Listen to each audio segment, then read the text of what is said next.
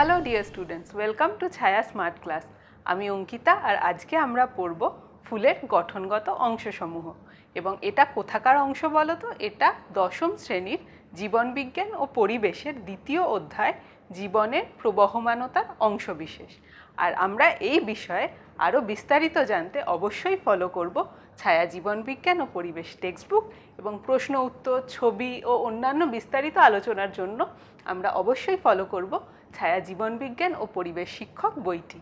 চলো আজকে স্মার্ট ক্লাসটি তাহলে শুরু করা যাক। ফুল তো আমরা সবাই দেখেছি।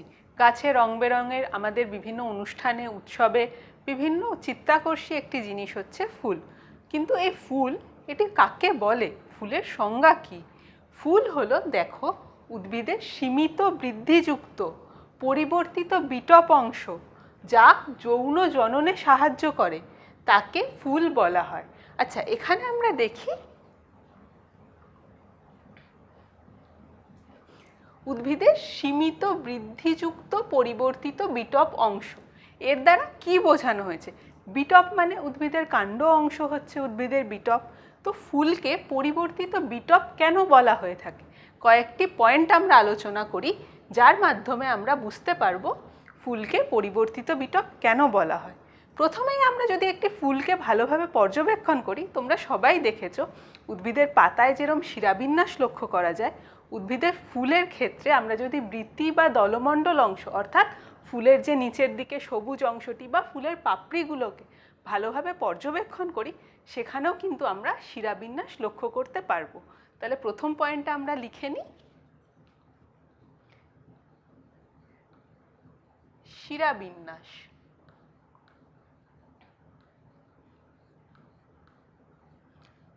আর কি কারণে আমরা বলতে পারি ফুলকে পরিবর্তিত বিটপ? পত্রমুকুল কোথা থেকে উৎপন্ন হয়? পত্রমুকুল উৎপন্ন হয় হয় কাণ্ডের অগ্রভাগ থেকে, না হলে পাতার কক্ষ থেকে। সেই রকম পুষ্পমুকুল যেটি সেটিও কিন্তু কাণ্ডের শীর্ষ অংশ বা পাতার কক্ষ থেকে উৎপন্ন হয়ে থাকে।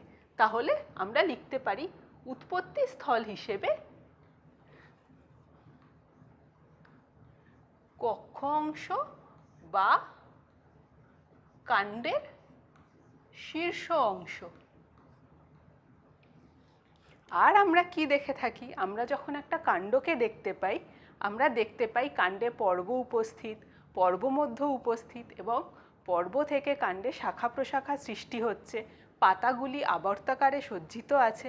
সেই রকম আমরা যদি একটি ফুলকে লক্ষ্য করি, ফুলের নিচের দিকে পুষ্পাক্ষ অংশ যেটি থালার মতো থাকে, সেই পুষ্পাক্ষ অংশের উপরে ফুলের অন্যান্য স্তবকগুলি, সাধারণ ভাষায় আমরা যাদের যে সবুজ রঙের অংশটিকে দেখি, যাকে আমরা বৃতি বলি, এছাড়া ফুলের পাপড়ি তাছাড়া ফুলের যে পুঙ্কেশ্বর অংশ, গর্ভকেশ্বর অংশ, সেইগুলো কিন্তু পুষ্পাক্ষের উপর আবর্তকারে সজ্জিত থাকে এবং দুটি যে পুষ্পস্তবক, ধরো বৃত্তি এবং দলমণ্ডল, তাদের মাঝে যে নগণ্য ফাঁকা অংশ শূন্যস্থানটুকুনি থাকে, সেই অংশটি পর্ব মধ্য হিসেবে কাজ করে থাকে।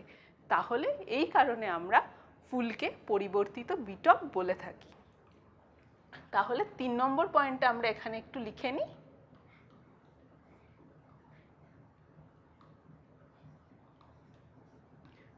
আবর্তাকারে সজ্জিত।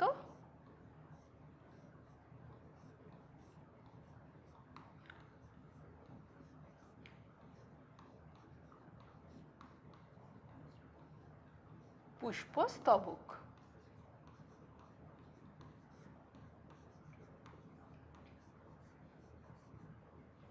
তো আমরা আলোচনা করলাম সংজ্ঞাটিকে, কীভাবে আমরা সংজ্ঞাটি নিরূপণ করছি।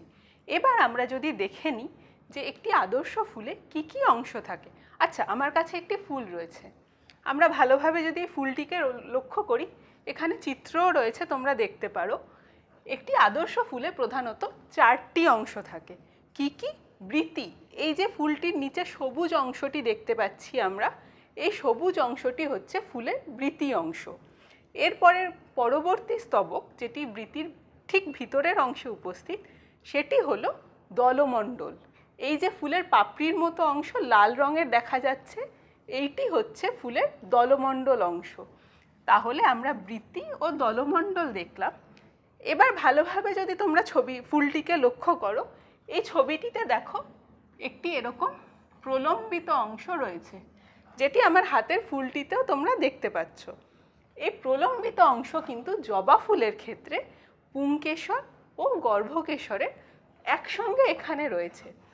এটি একটি পুংকেশরটি একটি দণ্ডের মতো অংশ গঠন করেছে মিলিতভাবে এবং তার অগ্রভাগে এই যে হলদে রঙের অংশগুলো দেখছ, এটি সমগ্র নিয়ে পুংকেশর চক্র গঠিত এবং এর ভিতর দিক দিয়ে একটি প্রলম্বিত অংশ আছে যেটা এখন দেখা যাচ্ছে না। আমরা পরবর্তীতে আলোচনা অবশ্যই করব। এই যে মাথায় পাঁচটি অংশ, এটি হচ্ছে গর্ভকেশর চক্রের অংশ। তাহলে এই আদর্শ ফুলটিতে আমরা কি কি চারটে অংশ দেখলাম? বৃতি দলমণ্ডল পুংকেশর চক্র ও গর্ভকেশর চক্র। এক্ষেত্রে পুংস্তবক ও স্ত্রীস্তবক, এগুলি কিন্তু ফুলের, ফুলে জননে সরাসরি অংশগ্রহণ করে। সেই জন্য এদেরকে জনন স্তবক বলা হয়ে থাকে। আর বাকি যে দুটি রইল, বৃত্তি ও দলমণ্ডল, এরা জননে সরাসরি অংশগ্রহণ করে না, এরা জননে সহায়তা করে। তাই এদেরকে কি বলে? ফুলের সাহায্যকারী স্তবক বলা হয়ে থাকে। ফুলের কুড়ি আমরা সবাই দেখেছি। সাধারণত সবুজ বর্ণের হয়। কেন হয় বলো তো? চলো ফুলের একটি অংশ সম্পর্কে, ফুলের একটি স্তবক সম্পর্কে আমরা জেনে নিই। ফুলের প্রথম যে স্তবকটি নিয়ে আমরা আলোচনা করব, সেটি হলো বৃতি। এই বৃতি কিন্তু কুড়ি অবস্থায় সমগ্র ফুলটিকে আবৃত করে রাখে। তাহলে বৃতি ফুলের কোথায় অবস্থান করে? ফুলে যে পুষ্পাক্ষ থাকে, তার সর্ববহিস্থ আবর্তে বৃতি অবস্থান করে। এবং বৃতি সাধারণত সবুজ বর্ণের হয়ে থাকে। তাহলে বৃতি আমরা সংজ্ঞা হিসেবে কি বলতে পারি? ফুলের বাইরে পুষ্পাক্ষের সর্বনিম্ন স্থানে যুক্ত সবুজ বর্ণের স্তবকটিকেই আমরা সাধারণত বৃতি বলে থাকি। কিন্তু কিছু কিছু ফুলে লক্ষ্য করলে, যেমন ধরো জবা ফুল, সেটিকে যদি আমরা লক্ষ্য করি, তাহলে আমরা বৃতির বাইরেও বৃতির নিচের দিকে সরু সরু পাতার মতো কিছু ছোট ছোট প্রবর্ধক দেখতে পাই। এইগুলি হলো উপবৃত্তি। এখন আমরা যদি একটি বৃতিকে ভালোভাবে পর্যবেক্ষণ করি, তাহলে দেখতে পাবো কতকগুলি এরকম সূক্ষ্ম সূক্ষ্ম পাতা সদৃশ্য অংশ বৃতিতে রয়েছে। বৃতির এই প্রত্যেকটি অংশকে বলা হয় বৃত্তাংশ। তাহলে বৃতি বৃত্তাংশ দ্বারা গঠিত, অর্থাৎ বৃতির প্রত্যেকটি এককই হলো বৃত্তাংশ। কিন্তু যদি আমরা কোনো ফুলে লক্ষ্য করি এই বৃত্তাংশগুলো কিন্তু সব ক্ষেত্রে একইভাবে থাকে না। বৃত্তাংশগুলো কোনো কোনো ফুলের ক্ষেত্রে যদি জবা ফুলই লক্ষ্য করি, আমরা যদি এই ছবিটি দেখি, তাহলে আমরা দেখতে পাবো যে বৃত্তাংশগুলি পরস্পর জুড়ে রয়েছে। জুড়ে একটি ঘণ্টাকৃতি বা কিছু ক্ষেত্রে ফানেল আকৃতি গঠন সৃষ্টি করেছে। এই ধরনের বৃত্তিকে বলা হয় যুক্ত বৃত্তি।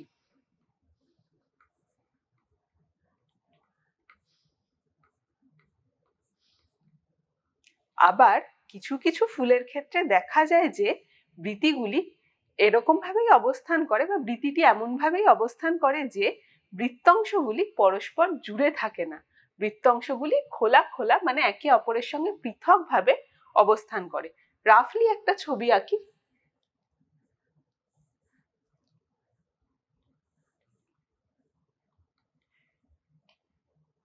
এইরকম ভাবে বৃত্তাংশগুলি পরস্পরের থেকে সম্পূর্ণ আলাদা থাকে। এটিকে বলা হয় মুক্তবৃত্তি। এই ধরনের বৃত্তিকে মুক্তবৃত্তি বলা হয়। মুক্তবৃত্তিকে আমরা ইংলিশে বলে থাকি পলিসেপালাস এবং যুক্তবৃত্তিকে আমরা বলে থাকি গ্যামোসেপালাস। আমরা মুক্তবৃত্তি কোন ধরনের ফুলে দেখতে পাই? গোলাপ ফুলে আমরা যে বৃত্তিটি দেখতে পাই, সেটি মুক্তবৃত্তির উদাহরণ। আর আমরা জানব যে বৃত্তি কি কাজ করে, ফুলে এর প্রয়োজনীয়তা কি। বৃতি সবুজ বর্ণের হয়। আর আমরা আগে কি শিখেছি? সবুজ বর্ণের উদ্ভিদ অংশে ক্লোরোফিল থাকে, তাই এটি শালক সংশ্লেষে সহায়তা করে। অতএব বৃতি শালক সংশ্লেষ করেও কিন্তু উদ্ভিদকে সহায়তা করে। আর কি কাজ? আমরা প্রথমেই আলোচনা করেছিলাম, কুড়ি অবস্থায় সমগ্র পুষ্পটি বৃতি দ্বারাই আবৃত থাকে। কেন এরূপ হয়? এরূপ হওয়ার ফল কি হয়? বাইরের পোকা মাকড় বা প্রতিকূল পরিস্থিতি, এগুলোর থেকে বৃতি সমগ্র পুষ্পটিকে কুড়ি অবস্থায় রক্ষা করে থাকে। আর কি করে থাকে বৃতি কিছু কিছু ফুলের বৃতি রঙিন বর্ণের হয়ে থাকে। তার ফলে এরা কি করে? এরা কীটপতঙ্গকে আকর্ষণ করে এবং পরাগযোগে সহায়তা করে। ফুলের পরবর্তী যে অংশ নিয়ে আমরা আলোচনা করব, সেটি হলো দলমণ্ডল। দেখো বৃতির ভিতর অবস্থিত ফুলের বর্ণময় দ্বিতীয় স্তবকটি হলো দলমণ্ডল। দলমণ্ডলের প্রতিটি অংশকে বলা হয় দলাংশ বা পাপড়ি। কিছু কিছু ফুলের ক্ষেত্রে লক্ষ্য করা যায় যে, দলাংশগুলি পরস্পর যুক্ত থাকে, ঠিক যুক্তবৃত্তির মতো। এদেরকে বলা হয় গ্যামো পেটালাস লিখে নিই।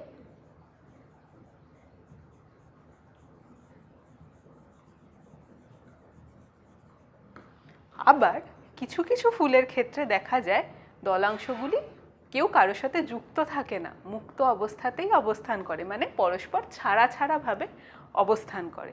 এদেরকে বলা হয় পলিপেটালাস বা মুক্ত দল ফুল। আর গ্যামোপেটালাসদের বলা হয় যুক্ত দল ফুল। তাহলে লিখে নিই এখানে আমরা। পলি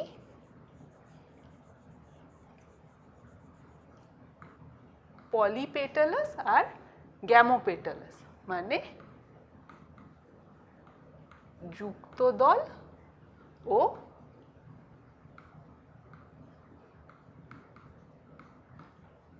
মুক্তদল ফুল। উদাহরণ হিসেবে কি বলতে পারি? মুক্তদল ফুলের একটা উদাহরণ হলো সর্ষে ফুল। আর যুক্তদল ফুল, ধূত্র ফুল আমরা সবাই দেখেছি। ঘণ্টার মতো আকৃতি হয়ে থাকে। পাপড়িগুলো কি ছাড়া ছাড়া থাকে? না। পাপড়িগুলি পরস্পর যুক্ত হয়ে, প্রত্যেকটি পাপড়ি পরস্পর যুক্ত হয়ে একটি ঘণ্টার মতো চোঙাকৃতি গঠন সৃষ্টি করে। সেই কারণে তাকে আমরা যুক্তদল ফুল বলে থাকতে পারি। এখানে দেখো একটি ফুলের চিত্র বর্ণনা করা হয়েছে। এখানে দলমণ্ডলগুলি বা দলাংশগুলিকে দেখা যাচ্ছে। কিন্তু এই দলমণ্ডল কি কাজ করে থাকে? ফুলে এটির ভূমিকা কি? দলমণ্ডল তো রঙিন হয়, সুন্দর গন্ধযুক্ত হয়ে থাকে, যদি সেটা রঙিন বর্ণের না হয়ে সাদা বর্ণের হয়ে থাকে। তাহলে এদের প্রধান কাজ হলো কীটপতঙ্গকে আকর্ষণ করা। কীটপতঙ্গ এদের দ্বারা আকৃষ্ট হয়ে এখানে ফুলে এসে বসলে তবেই তো পরাগযোগ সম্পন্ন হবে। তবেই ফুল বংশ বিস্তার করতে সহায়তা করতে পারবে, অর্থাৎ জননে অংশগ্রহণ করবে। আর আমরা তো জানি, ফুলকে সপুষ্পক উদ্ভিদের জননাঙ্গ বলা হয়। আচ্ছা দলমণ্ডল আর কি কাজ করে থাকে?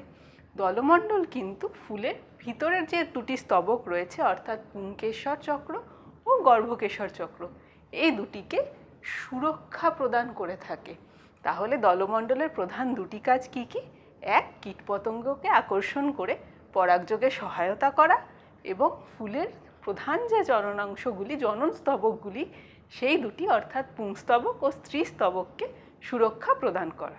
ফুলের গঠনগত অংশসমূহ সম্পর্কিত আমাদের আজকের ক্লাসটি এই পর্যন্তই। আজকের ক্লাসটি যদি তোমাদের ভালো লেগে থাকে, তাহলে অবশ্যই লাইক করো এবং বন্ধুদের সঙ্গে শেয়ার করো। এবং এই সংক্রান্ত আরও ভিডিও পেতে তোমরা অবশ্যই ছায়া ইউটিউব চ্যানেলটি সাবস্ক্রাইব করো। এবং আগামী দিনে যে নতুন নতুন ভিডিওগুলি আসতে চলেছে, সেগুলির নোটিফিকেশন সবার আগে পেতে বেল আইকনে অবশ্য ক্লিক করো।